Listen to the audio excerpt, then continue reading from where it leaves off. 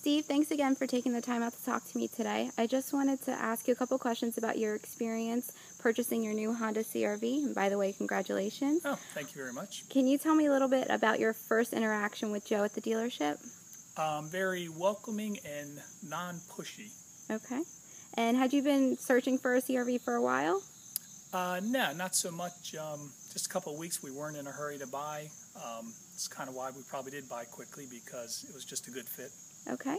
And was Joe the first person that you spoke to at the dealership? Joe was the first person I spoke to. Yes. Okay. Can you tell me a little bit about the experience you had with him? Um, in general, or when we first met him?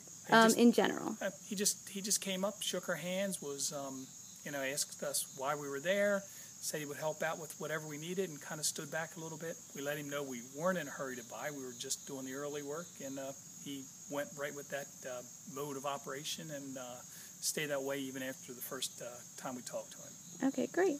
Um, you know, so far it seems you're very happy with your CRV. Is there anything of the experience, whether it was Joe or with anyone else at the dealership, that sticks out in your mind?